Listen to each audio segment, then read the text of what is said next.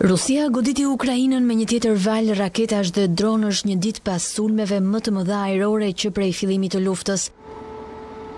Sirenat e alarmit u dëgjuan në orët e para të së martës, teksa monitoruesit ukrainas detektuan raketa hipersonike të Moskës Kinzhal.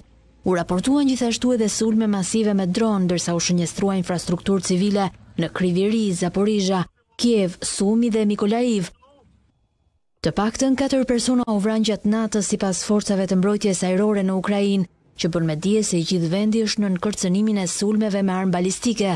Siç thuhet, Moska lëshoi dhjetë raketa dhe tetëdhjetë e një dronë gjatë natës, me ushtrinë e Kievit që kishte rrëzuar pesë raketa dhe gjashtëdhjetë dronë.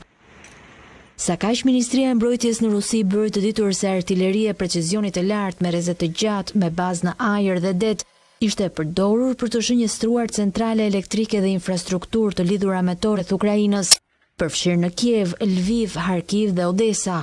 Goditja e re vjen një ditë pas sulmit masiv me raketa e dronë ku mbetën të vrarë të paktën shtatë persona dhe u plagosën dhjetra të tjerë në disa rajona ukrainase. Në shënjestër u vu infrastruktura energjetike, çka shkaktoi blekaut në shumë qytete dhe dëmtoi rrjetet e furnizimit me ujë. Sulmet e fundit po konsiderohen si një përpjekje e Moskës për të rimarrë kontrollin në konflikt, pas fitoreve të siguruara nga Ukraina në rajonin rus të Kursk. Presidenti amerikan Joe Biden i cilësoi sulmet si mizore dhe u zotua se Uashingtoni do të vazhdojë të mbështesë Ukrainën.